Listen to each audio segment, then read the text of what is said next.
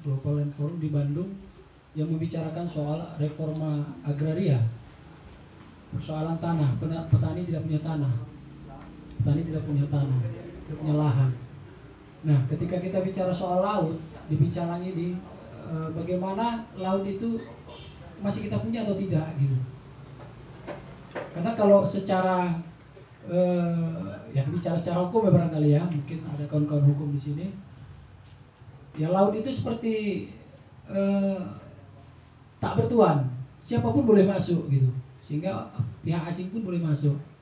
Dan sayangnya pemerintah juga tidak awas dengan persoalan ini. Sehingga banyak nelayan yang yang kehilangan mata pencarian. Gara-gara masuknya kapal-kapal asing ya buka-buka harimau. Nah, ini di Picalang ini semacam protes ya kalau di situ ada disebutkan kepres yang uh, perahu kepres bantuan-bantuan itu. Pemerintah memberikan bantuan tapi di satu sisi dia tidak memberikan kebebasan. Nah yang kutangkap ya mungkin ini juga nanti ditanggapi oleh Bang Dadang ya. Kalau kita bicara hukum yang berkaitan dengan kepres kemudian bicara soal kenelayanan itu kan pemerintah cenderung diskriminatif. Cenderung diskriminatif dan produk yang sangat diskriminatif itu adalah ya KUHP tadi. KUHP itu kan cenderung diskriminatif. Harusnya masyarakat lah, masyarakat adat lah yang harusnya diskriminatif. Jangan pemerintah. Ini ini menurut pandanganku ya. Kenapa? Kalau uh, kalau kita lihat sekarang ini prakteknya adanya hukum yang diskriminatif justru nah justru memunculkan sikap intoleran.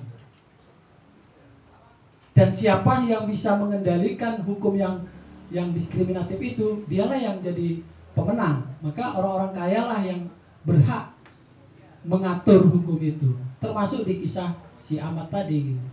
Di Picalang ini juga yang punya modal yang menghantam gitu, yang punya modal. Jadi hukum bisa dibeli karena itu tadi diskriminatif. Karena hanya orang-orang tertentu Makanya parpol mau eh, orang-orang uh, parpol kalau mau dituntut banyak belitnya, uangnya banyak. Nah, jadi tidak berpihak dia. Ya prakteknya itu tadi hukum itu tidak tidak tidak tajam ke atas, tapi tajamnya ke bawah. Kenapa aku bilang masyarakat adat yang harus diskriminatif? Karena kalau kalau dia ya hukum adat itu sudah diskriminatif dan dijalankan, aku yakin toleransi itu akan muncul.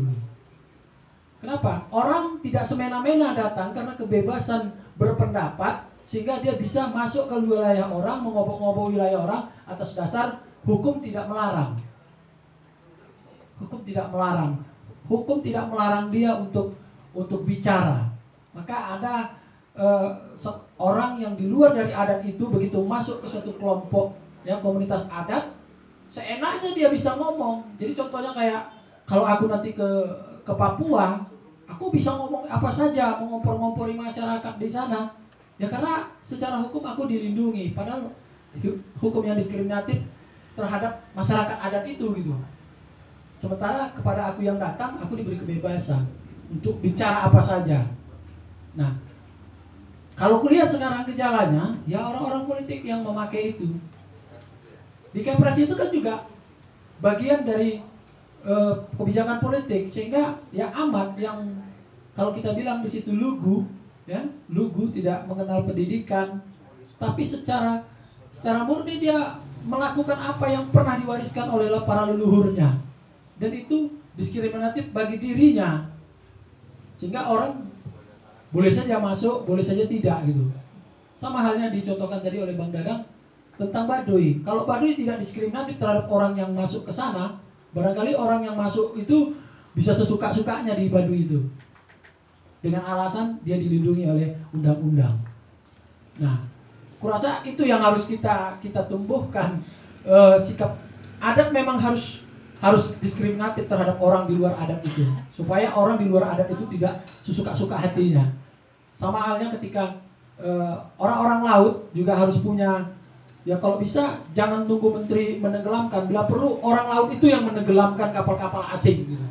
dan tapi kan secara hukum orang laut menenggelamkan kapal orang kan pasti melanggar gitu tapi kalau dia punya hukum adat untuk menenggelamkan kapal orang tanpa harus tanpa harus mengikuti hukum adat uh, uh, hukum negara, kurasa persoalan tidak seperti sekarang ini. Nah, ini, ini jadi persoalan. Makanya soal laut, soal tanah, bagaimana hukum adat? Orang bicara masalah tanah adat, tanah ulayat. Karena orang orang masyarakat adat itu tidak menegakkan adatnya. Yang dia takuti adalah hukum negara. Hukum adatnya di mana? Kalau dia tegakkan hukum adat, aku rasa tidak ada perampasan-perampasan tanah. Sama sepertinya tidak ada perampasan di laut-laut gitu. Nah, ini mungkin yang uh, aku ingin berpikir secara terbalik saja lah. Karena persoalannya ya diskriminasi itu hanya dipakai oleh pihak negara, dalam pemerintah, ya. Dengan uh, dengan satu konsensus yang artinya secara konvensi itu diakui gitu. Tapi ketika bicara adat yang seperti disinggung tadi kita nggak nggak ada ke situ. Jadi masih lemah.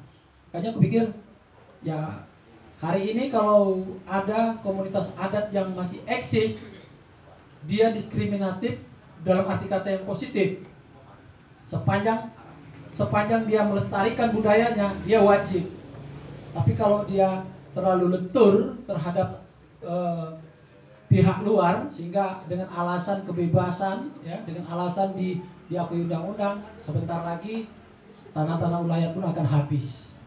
Nah ini jadi kurasa e, bisalah mungkin Bang Dadang punya pandangan lain seperti apa sih Baduy seperti apa di Pincalang tadi untuk bisa mempertahankan leluhur itu.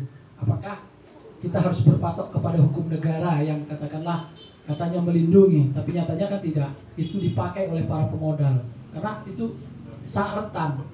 Apalagi KUHP kan buatan Belanda, warisan lah kalau kita bilang. Terima kasih.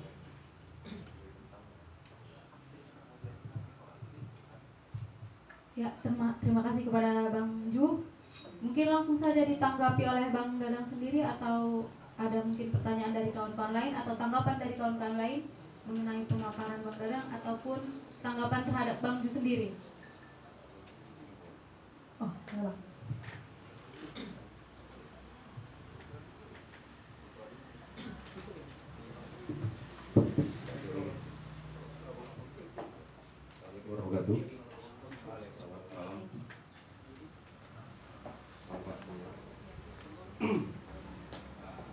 Ada beberapa hal yang kalau kita melihat secara esensi ini kan berkaitan dengan peraturan. Kalau tadi bahasanya kan bicara tentang bagaimana ketidakadilan itu tergapai. Nah permasalahan yang pertama adalah value yaitu bicara tentang nilai itu sendiri. Terkadang memang dalam teoritik misalnya kita